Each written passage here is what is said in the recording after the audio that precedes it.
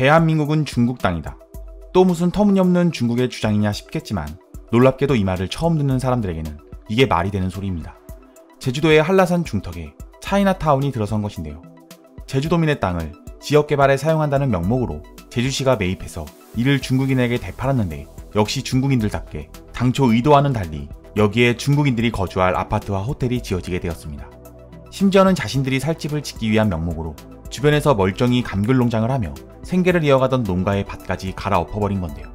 이렇게 현재 중국인들의 대한민국 영토 침범은 비단 제주도뿐만이 아니라 우리 땅 전역에서 불번지듯 퍼지고 있는 실정입니다. 강원도에 들어설 계획이었던 차이나타운 건설의 경우 국민청원까지 동원된 끝에 우리나라 사람들의 격렬한 반대로 무산되었지만 이들은 절대 포기라는 것을 모르는 듯 또다시 강릉 정동진에 차이나 드림시티 건립을 추진 중이라고 합니다.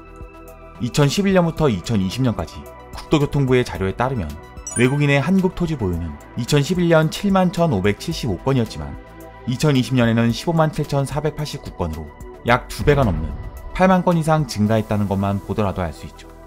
15만 7,489건 중 중국의 국적을 가진 자가 보유한 건은 5만 7,292건인데요. 2011년의 경우 3,515건에 불과했다는 것을 보면 정말이지 엄청난 폭으로 증가한 것을 알 수 있습니다. 이는 한국 토지를 보유하고 있는 외국인의 36.37%에 해당하는 수치입니다. 중국인의 토지 보유 현황을 지역별로 보면 1위는 경기도로 1,914건이며 그 뒤로는 제주도, 서울, 인천 순서인데요. 특히 경기도는 2011년과 비교했을 때 713건에서 19,014건으로 무려 26.6배가 올랐고 서울은 772건에서 8,606건으로 11.1배가 오르는 수치를 보여줬습니다. 여기까지만 봐도 벌써 소름 끼치지 않나요? 하지만 이것이 더 소름 돋는 것은 이 자료는 2020년까지의 자료라는 것입니다. 중국인들은 2021년인 올해에도 우리 땅을 막 사들이는 중이고 아마 앞으로도 계속 한국 내 중국인의 땅은 이렇게 기하급수적으로 늘어나게 될 것입니다. 그렇기에 속된 말로 한국은 이미 중국 땅이라는 말이 여기저기에서 들리고 있고 이는 곧 현실이 될지도 모르는 일이죠. 왜냐하면 캐나다와 호주만 봐도 이를 잘 알 수 있기 때문입니다. 이미 캐나다는 한국보다 빠르게 대다수의 부동산이 중국인들에게 점령당하면서 급기야 캐나다인들에게 중국인들은 분노의 대상이 되어가고 있는 상황입니다. 여기에 호주는 그 상황이 더욱 심각한데 중국에 대한 수출 의존도가 말도 안 되게 높아지면서 경제권을 꽉 쥐고 있는 중국의 말에 토 하나 달지 못하고 그렇게 소가리만 하고 있는 중입니다. 이뿐만일까요? 솔로몬 제도라고 알려진 곳까지 중국인들의 마수는 뻗쳐 있었습니다. 중국인들이 처음에 솔로몬 제도에게 지역 개발과 값싼 무역 조건을 내세우며 그들에게 달콤한 사탕을 들이밀었고 아무것도 모르는 이들은 이를 덜컥 받아 삼키게 된 것이죠. 이유야 뭐 안 봐도 뻔하죠. 중국인들은 그렇게 솔로몬 제도의 섬으로 들어오기 시작했고 이후 무분별한 벌목으로 그들의 울창한 수풀은 현재 벌거숭이가 되어갔으며 이제는 이것이 국가적으로 심각한 위기로 여겨질 만큼 안 좋은 상황에 처해 있기도 합니다. 그럼 여기에서 끝일까요? 아니죠. 아르헨티나의 경우 소고기 생산량이 세계 1위의 국가일 정도로 풍족한 소고기 수급을 자랑하는데 소고기 맛에 눈을 뜬 중국인들이 현재 하도 먹어치우는 탓에 오히려 자국에 공급할 고기가 없어 수출을 중단하는 사태까지 벌어졌습니다. 이 밖에도 아프가니스탄, 남아공, 세네갈, 그 어디든 현재 중국인들의 마수는 정말이지 전 세계에 뻗어 있는 상태인 것이죠. 그렇기에 최근 중국이 한국에게 보이는 관심은 매우 위험한 상태입니다. 이들은 우리의 땅과 같은 유형적인 것에 더해 이제는 우리나라의 역사와 문화까지 빼앗으려고 혈안이 되어 있는 것인데요. 목소리만 크면 장땡이라고 생각하는지 무식한 14억 인구를 무기로 삼아 온갖 헛소리로 왜곡하고 날조한 거짓말을 진짜라면서 우기고 있는 상태입니다. 물론 이런 말을 하고 있는 중국인들은 이미 중공의 세뇌 교육에 아예 절여져서 이를 진심으로 믿는 것 같지만요. 이를 증명이라도 하듯 중국은 매일 앵무새처럼 하나같이 헛소리만 반복하고 있는 중입니다.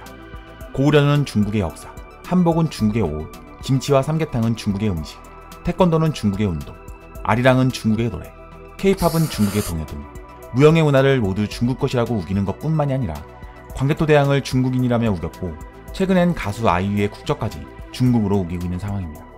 자신들의 진짜 역사는 분서갱유와 문화 대혁명으로 스스로 불태우더니 갑자기 한국의 모든 것들을 훔치려고 하는 그런 미친 짓을 보여주고 있는 것이죠. 그런데 이러한 중국이 안 그래도 눈이 시뻘개져서 한국에서 뭐 훔쳐갈 것 하나 없나 찾고 있는데 이렇게 한국의 땅까지 자꾸 사들이게 된다면 어떻게 될까요? 정말이지 상상하기도 무섭습니다. 중국은 우리가 무엇을 생각하던 그 이상의 상상을 초월하는 행동을 보여주고 있기 때문입니다.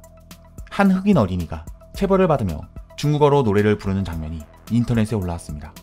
아이가 굉장히 고통스러워하는 모습에 이는 큰 논란이 되었는데요. 중국은 아프리카에 학교를 세웠습니다. 좋은 일을 한 거지 않냐 싶겠지만 이 학교에선 중국어 외에 다른 언어를 사용하는 게 금지되어 있고 만약 중국어 이외의 언어를 쓸 경우 영상과 같이 기마 자세로 체벌을 받으며 고풍이란 가수가 부른 대중국이라는 중국 찬양 노래를 불러야 했던 것이죠. 결국 중국이 아프리카 국가들에게 지원을 해준다고 돈을 빌려주고선 이를 못 갚으니 이와 같이 그들을 노예처럼 부리는 것입니다.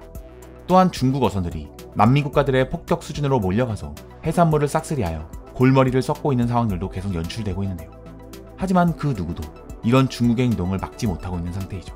왜냐하면 모두가 중국의 눈치를 보고 있기 때문입니다. 그런데 정말이지 특이하게 이런 중국에게 눈 하나 깜짝하지 않고 있는 소수의 인원들이 있는데요. 이들이 맘먹고 진행한 중국에 대한 소송의 대상이 된 중국인들은 이제 곧 타국으로 송환되어 재판을 받게 될 것임을 알고 이에 전전긍긍하고 있는 중입니다. 죽어라라는 중국의 노골적인 비난을 받으면서도 최근 중국인들을 소송하기 위해 미국 로펌과의 계약을 검토 중이라는 소식까지 밝혀 실제로 역사 왜곡에 대한 국제소송이 실현이 되고 있는 것인데요. 그리고 이 소수 집단의 리더였던 라카이 코리아 신정원 대표는 최근 한 매거진의 인터뷰를 통해 이와 같은 이야기를 하게 됩니다. 이 소송의 발단은 미국 뉴욕 타임스퀘어 한복 광고였다. 해당 광고에 대해 중국에서 일부 역사 왜곡과 과거 조상들에 대한 성희롱 등 좋지 않은 댓글이 올라오고 있어 이런 악성 댓글에 대한 국제소송을 진행하기로 결심했다. 중국에서 한국의 역사를 왜곡하고 비난하는 사례는 수없이 많았고 이렇게 해외에서 빈번히 발생하는 역사 왜곡을 처벌할 수 있는 선례를 만들어야 다른 기업에서도 우리와 같은 행보가 이어질 수 있을 거라 생각했다. 실제 라카이 코리아가 중국을 상대로 무기한 판매 중단과 국제소송에 대한 이러한 입장을 밝힌 것이 현재 국내외로 큰 화제가 되고 있는 중입니다. 이에 따라 국내 여러 기사 및 뉴스, 해외 기사 등이 쏟아지며 이 작은 기업에서 국가를 위해 소송을 준비한다는 것에 그만큼 관심이 쏠리고 있는데요. 이 기업은 소송에서 그치지 않고 중국 고서의 고려를 모방했다는 내용까지 담은 타임스퀘어 광고를 진행하며 중국인들이 남긴 역사가 중국의 발목을 잡는 해프닝까지 벌어지게 되었죠. 그런데 사실 이러한 중국인들에게 가장 큰 논란이 되었던 건 라카이 코리아가 진행했던 4월 1일 만우절 기획이었는데요. 중국어와 한국어 두 장으로 이루어진 이미지에는 예로부터 우리 조상들이 훠궈를 즐겨 먹었다는 옛 서체와 함께 한국 풍속화에 중국 전통 음식을 그려 넣었으며 이는 중국이 하는 짓과 똑같은 방법으로 이들을 혼쭐 내려고 했던 재밌는 기획이었죠. 여기에 따른 당시 중국의 반응을 잠깐 살펴보자면 우리를 화나게 하려는 베테랑들 주먹을 꽉 쥐고 있다. 너희의 전통 음식은 미국이 남은 음식 찌꺼기를 주어서 만든 음식 아니냐. 부끄러움이 나라를 훔쳤네. 붙어 나와. 이렇게 전혀 아무런 근거도 없는 감정적인 댓글이 줄을 이뤘습니다. 그렇기에 이들 중 몇몇은 이제 곧 국제소송의 심판을 받게 됩니다. 라카이 코리아의 미국 로펌 계약이 끝나면 국제소송을 위한 한 단계가 완성되고 이 뒤에는 많은 한국인들이 이 국제소송을 돕고 있기 때문에 이는 더 빠르게 진행이 될 테죠. 오래된 태극기 박스, 국가를 지키기 위해 싸웠던 남상락 독립운동가가 그린 태극기를 박스로 만들어 그 안에 온갖 역사적 스토리를 넣은 한국적인 제품들. 이제 한국인들이 태극기가 들어간 건 더 안 쓴다라는 말은 더 이상 의미 없는 말이 되었습니다. 이 제품의 후원 명단에 써져 있는 수많은 한국인들의 이름이 있기 때문이죠. 이렇게 이 국제소송 비용의 일부가 후원되는 라카이 코리아의 감사 박스는 그렇기에 수많은 한국인들의 염원이 함께 담겨 있습니다. 그리고 이제는 한국인들을 넘어서 이를 본 외국인들까지 힘을 모아 대한민국을 응원하고 있는 중입니다. 수년이 걸릴 수도 있는 이 싸움에 뛰어든 고작 20명 남짓하는 라카이 코리아의 직원들. 이들의 앞길은 험난하겠지만 조금씩 목표를 향해 한 계단씩 나아가는 불굴의 도전 정신은 오늘도 국내를 넘어 세계인들을 감동시키고 있습니다.